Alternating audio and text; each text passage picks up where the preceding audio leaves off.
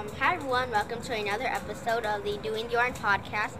And today I have um, two very special guests. It is Aerial Instinct, Lucas Riley, and Jake Atlas. What's up, guys? How, How you y'all guys doing? doing?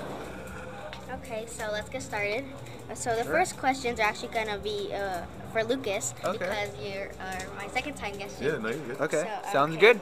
Lucas, were you a fan of wrestling growing up?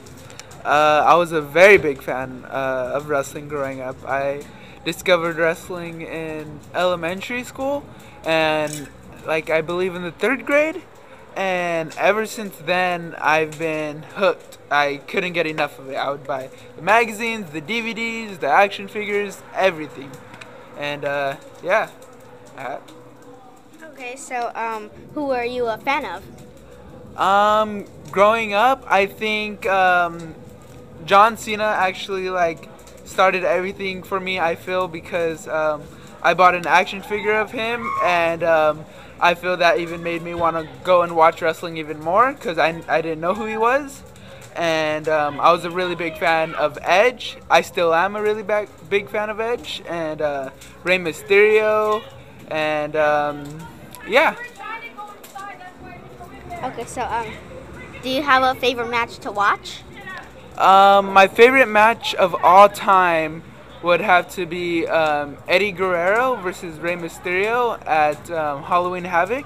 Um, I could watch that match over and over and over. I think the athleticism is unbelievable, and um, yeah, that's just my all-time favorite match. Okay, so um, how did you like get started in wrestling? Um, I knew that uh, when I was little, I knew I wanted to become a wrestler. And when I was maybe even in middle school, I started like looking up wrestling schools, and um, I saw Santino Bros, and I saw okay, um, it said you had to be 16 or over um, to join, and I was like, okay, when I'm 16, I'm gonna join. And then for my 16th birthday, I called in and they raised it to 18 and over.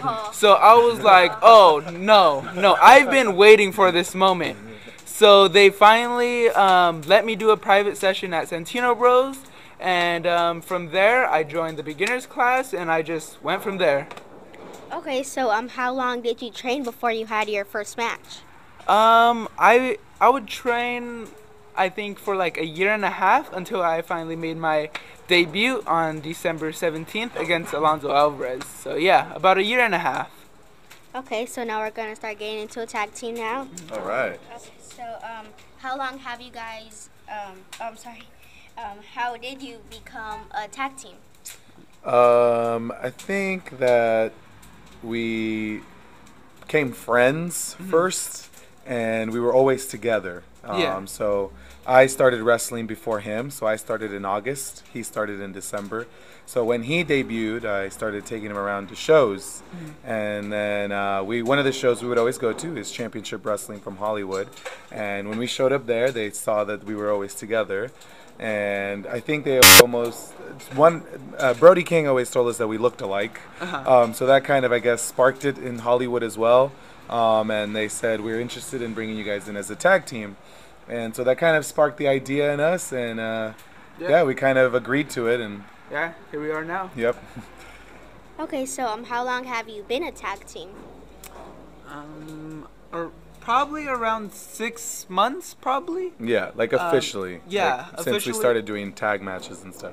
Yeah, we've wrestled mainly in Championship Wrestling from Hollywood, but uh, this year we want to branch out to other promotions and Right. really show what Aerial Instinct got. Yeah, like Ground Zero tonight. Exactly. So um, is it like harder being in a tag team like than a singles competitor?